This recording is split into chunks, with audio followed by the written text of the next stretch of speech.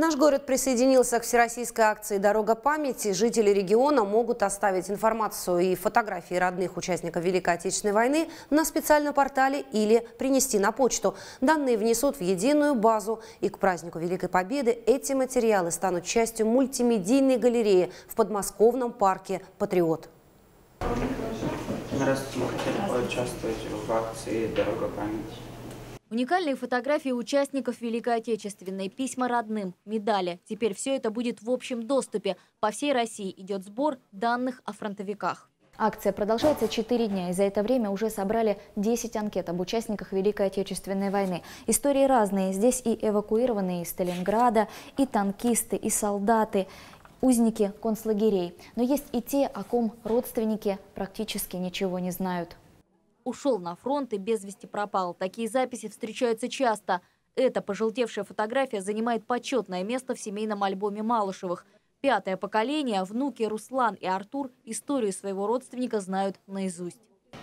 Моего прапрадеда зовут Зайков Иван Ильич. Он родился в 1906 году и был призван на службу в 1941. Он дошел до Берлина и заработал две медали. Данных сохранилось очень мало, но завоеванные награды, Орден Великой Отечественной войны второй степени и медаль за отвагу говорят сами за себя. Эта фотография была сделана весной 1945 года. Э, это единственная семейная реликвия, это единственная память о нашем деде. И дед нам оставил послание. Посылаю вам свою фотографию на память своему семейству. Акция «Дорога памяти» всероссийская. Министерство обороны России запустило этот проект, чтобы увековечить память об участниках Великой Отечественной, тружениках тыла.